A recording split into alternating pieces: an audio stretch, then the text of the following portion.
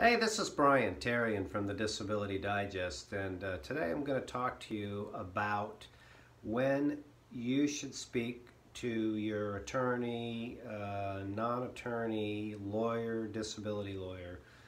I am not a lawyer. I'm not a doctor. I don't play either on TV.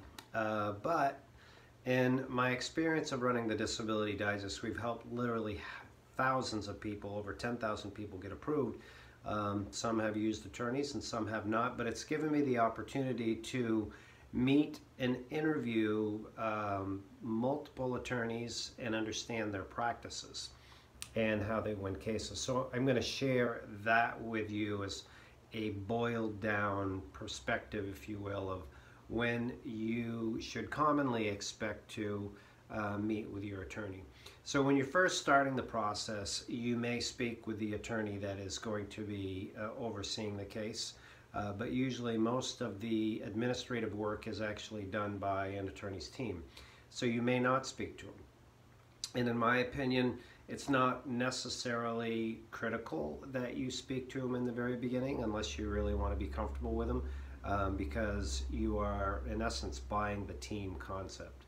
So that's one aspect of it. And through the updating process of going through the approval uh, stages, uh, your communication, I expect, will be with one of the attorney's staff members, where you will let them know if you have new diagnosis or increased severity, or you've been contacted by Social Security. And again, if you're using a disability uh, attorney, you want to make sure that you get their best practices and what they expect of you. But this is just across the board from uh, you know from what I've experienced in working with a network of 12 or 15 disability attorneys uh, at any given time that help our members out. So the next point that I want to make is when you're getting ready to go to a hearing, a Social Security disability hearing, this is a critical part in your case where a lawyer plays a key role in getting you approved. So for the person that is going into court with you, you definitely want to meet with them.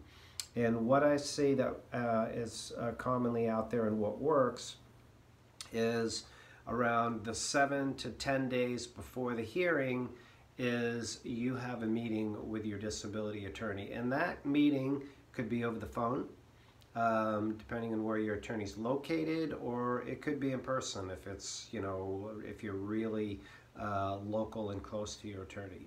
And I've they they all work. I've seen them work.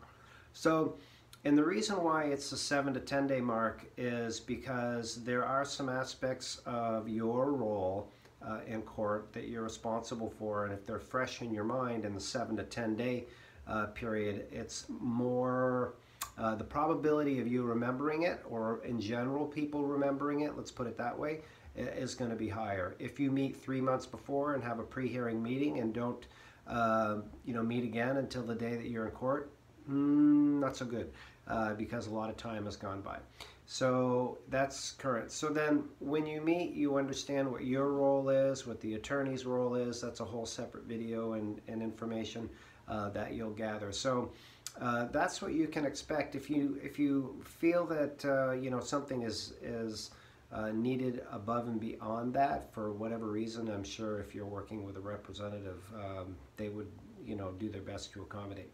But again, this is what I see from my perspective um, as a general best practices of what goes on uh, in the industry that's out there. And hopefully this will help you set your expectations um, so that you know when uh, to meet with your attorney and, and what your role is going to be. So this has been Brian Therrien again. Uh, I'm not an attorney, not a lawyer, not a doctor, don't play one on TV. Uh, disability advocate here at the Disability Digest. We help people get and or maximize their disability uh, benefits with with strategies and um, that's my assistant Ika who has come in to say hi. You want to say hi to everybody, Ike? Hey, look, say hi. Um, and so if you like the work that we do, there, you can subscribe to this channel. Of course, you can get a free membership. Just uh, look down uh, below and you'll see that there's a free membership that you can get.